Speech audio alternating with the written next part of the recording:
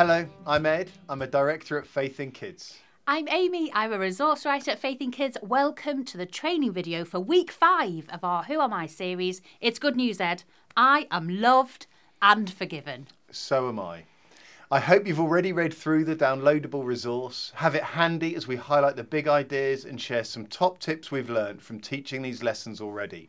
You're teaching it. We're here to give you a helping hand. Zara is nine. She's polite and well behaved. She works hard at school. She's helpful at home. She's quiet in church and is desperate to please everyone. Her parents hear from others that she's the model child. But when she's done the wrong thing, she bursts into tears. She's so worried about disappointing others that she never stops to realise she's on a constant anxious hamster wheel of trying to be good enough. And she fears she can't keep it up. Imagine Zara is in your session this week. We want her to know that she is loved, not because of the things she does right, because God's love is not earned, but because of her identity. She is His child. Our prayer is that this lesson helps children who fear they're not good enough, whether that's due to the number of things they've done wrong or because they fear they haven't done enough right.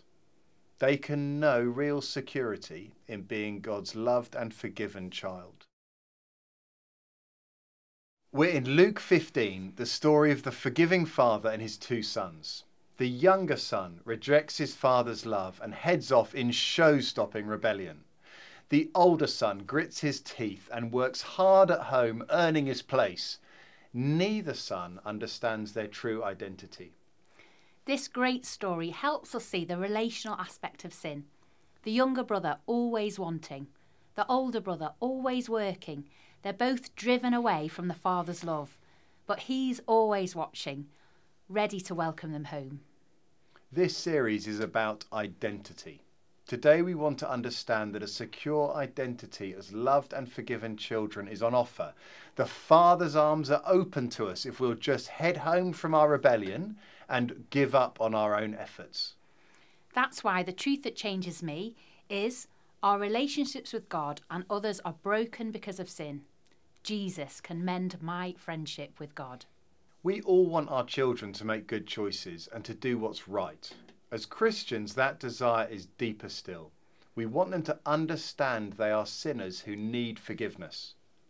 This lesson is not a guilt trip to try and improve behaviour. This lesson is an identity lesson. We want our children to embrace the identity God the Father offers, not to fear they don't deserve it or striving to earn it. So, faith in kids looks like children who both see their role in the world's brokenness and know they're totally forgiven. We're now going to go through some details in the lesson, so if you haven't already read it, press pause and go and read it now. Go on. Now. Okay, they've come back. Welcome to the section that we call Points, Problems, and Distractions. We found that younger children or those new to church find the story of the younger brother really helpful. That's because younger children understand the simplicity of get it wrong, say sorry, get forgiven. So, this can be the lesson where children understand the need to come home, to be forgiven, and they want to become a Christian. Amazing! Older children will need your help to understand the older brother's story. It's subtle, it's hard for them to spot how he's got anything wrong.